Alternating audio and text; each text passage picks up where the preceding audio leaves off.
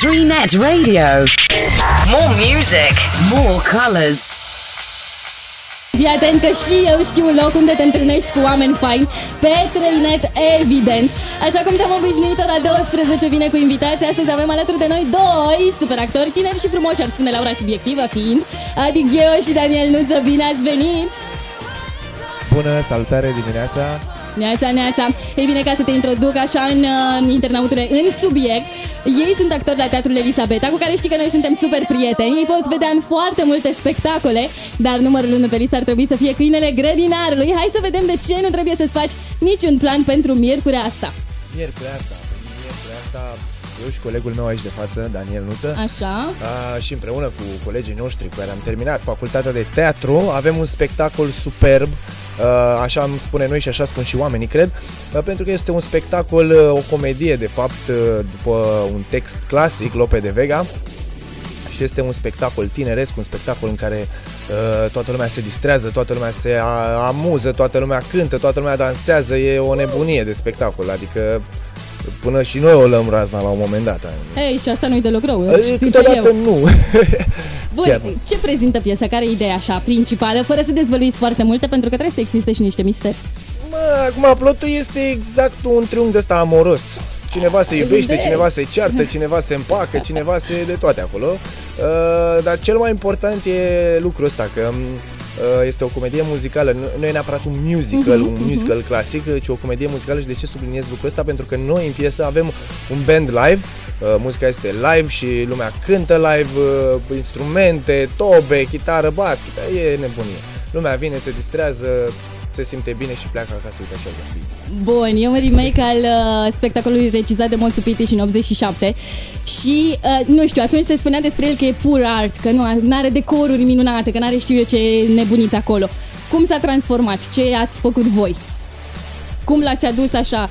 Știu că gusturile consumatorului de teatru se schimbă și de atunci până acum sigur s-au schimbat voi ați schimbat spectacolul sau e un spectacol din ăla care nu trebuie să se schimbe pentru că se potrivește oricăror gusturi? Păi exact, exact, nu am schimbat, nu am schimbat mare lucru, de fapt nu am schimbat mai nimic, am implementat doar ideea asta de band live pentru că nu aveam uh-huh. muzica uh, de atunci și uh, în principiu am păstrat cam același concept. Conceptul este același pentru că uh, uh, profesorul nostru, domnul Șerban Puiu, regizor de fapt, uh, a văzut acel spectacol în 87-88 și și-a adus aminte și a zis, măi, trebuie să facem exact ca atunci. Și chiar așa și este. Adică am păstrat exact, uh, nu avem decoruri, nu avem nici prea multe costume, dar o să vedeți că noi prezentăm toate chestiile astea niște piese, acolo e foarte interesant. La ce să se aștepte, nu știu, omul care vine la piesa asta de teatru? Cum, cum o să plece de acolo sau ce așteptări aveți voi de la public? Uh, la asta nu mă pricep, las și pe Dani. Așa e cel mai simplu, haide.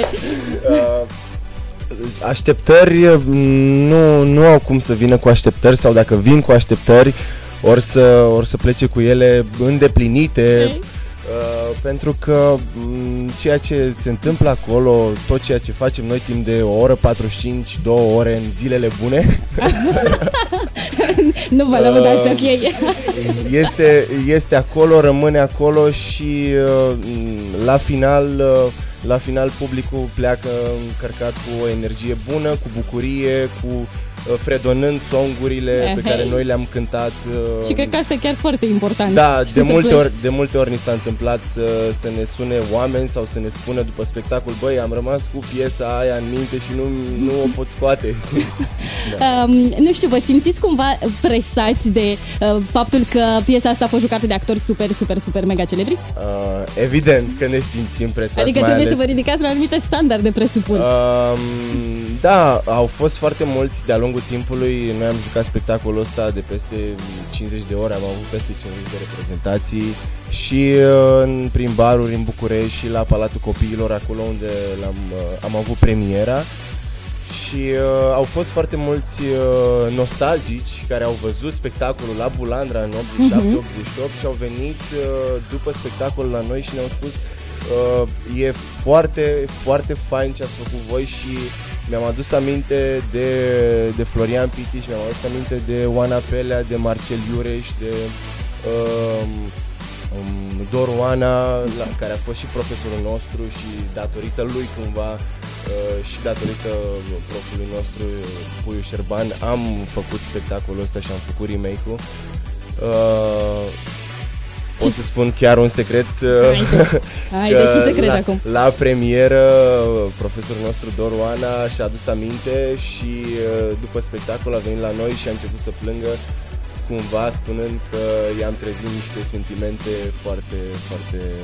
Ei, înseamnă că faceți o treabă bună, dar Da. o să vedem ce se întâmplă Da. miercuri. Exact. Um, Eu am citit că Emilia Popescu n-a mai dat examenul ăsta de uh, finalizarea studiilor de teatru, pentru că Moțu a, uh, nu știu, a inclus-o în piesa asta și a făcut un Exact. super show și Da. la voi s-ar putea practica astfel de chestii sau uh, ce...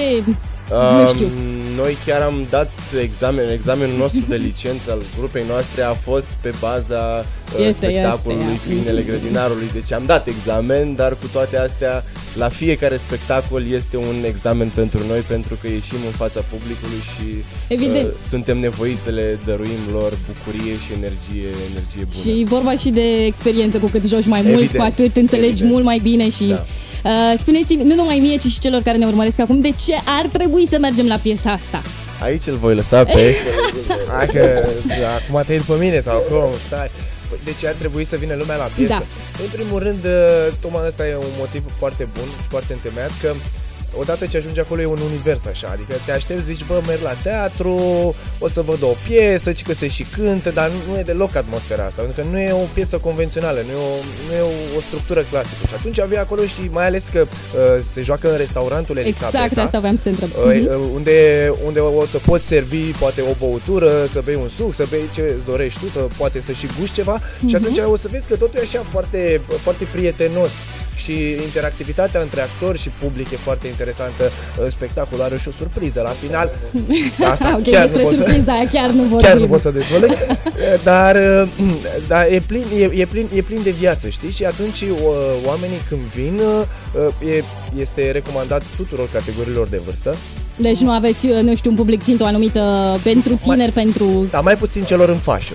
A, a, ok, că poate nu prea prind toate... Nu prea prind toate Mhm, glumele. Am înțeles. Dar la cântece sigur se pricep și cei în fașă. Da, da, da. Ok. și atunci tocmai uh, uh, prietenia asta care se creează acolo îți dă un sentiment, uh, îți dă un sentiment foarte plăcut și pleci de acolo uh, Fredonând, cum ziceam fredonând mai și devreme. uh, sigur cu 20 de ani mai tânăr sau cu uh, și dacă ai 20 de ani, poate tot cu 20 de ani mai tânăr, că nu se știe Da, niciodată da. sub da. Și atunci lumea se simte foarte bine. Deci prin uh, faptul ăsta că se joacă în uh, teatru și nu se joacă într-un spațiu convențional, în, uh, într-o sală, um, se joacă în restaurant, nu într-un spațiu uh, convențional, uh, veniți cu ceva nou cu chestia asta și da, pare chiar foarte interesant. Noi am tot vorbit despre spectacole care s-au jucat în uh, restaurant Elisabeta. Voi ce alte planuri mai aveți pentru anul ăsta? Cu Elisabeta sau cu... Păi uh, pe uh, sâmbătă, Așa. pe 25, uh, mai avem un spectacol care se numește Las că știm noi. Aha. Nu chiar așa se numește, adică las că știm noi. Știu că e titlul cu Schepsis, dar uh, Păi asta e toată treaba. Și chepsisul. Schepsis se face tot farmecul uh, Cu niște actori foarte frumoși și foarte drăguți Și anume Bebe Cotimanis, Carmen Tănase, Mirela Stoian, uh, Ștefan Velniciuc Care a fost și domnul nostru profesor Le-am întâlnit și noi. Da? un, un om excepțional, toți sunt niște oameni excepționali, frumoși și tineri, Aluca Ghervan, uh, Iana Stoiana, Anca Dinicu, va fi și acolo o nebunie, o să vedeți alte încurcături. Asta e foarte tare la teatru, că te duci și vezi numai încurcături. și atunci îți dai seama că de fapt viața ta e mult mai ușoară. Oamenii ei au realmente probleme, nu tu. Adică... Actori, într-adevăr, cum nu?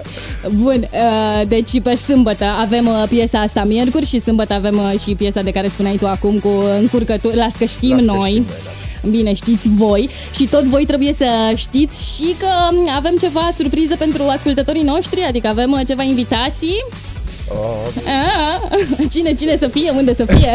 da, nu chiar avem, uh, am auzit că se lansează un concurs uh, Exact. pe mâine cu un câștig de două invitații Duble. duble, adică Exact.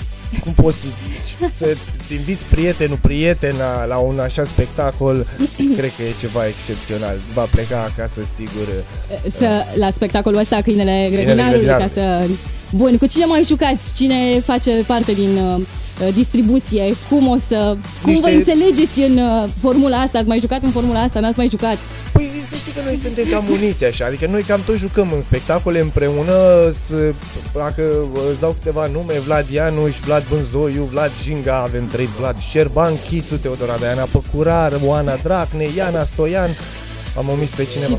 Bandul este format uh, din uh, uh, Alexandru Badea la tobe, uh, Laur Drăgan um, la chitară electrică, um, uh, Șerban Chițu la pian, Ce combinație faină. uh, Florin Chițu, tatălui Șerban Chițu, la, uh, tot la chitară uh, și, uh, și bas uh, și Adrian Popescu la bas.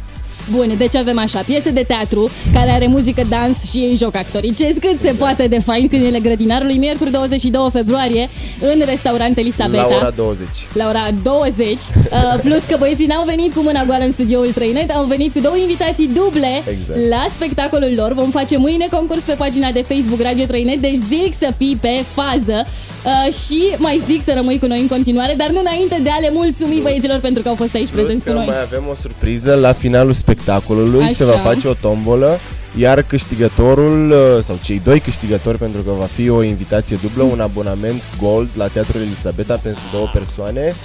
Uh, și acest abonament constă în uh, uh, intrarea la oricare spectacol timp de un an de zile la Teatrul Elisabeta. Uh, Deci ca mergeți invitație. neapărat Da. miercuri, da? Exact. Neapărat. Vă mulțumim tare mult pentru prezență, vă Și mulțumim, noi pentru mulțumim. teaserul fain făcut, pentru piesa Câinele Grădinarului și vă super ținem pumnii! Rock on! 3net Radio. More music, more colors.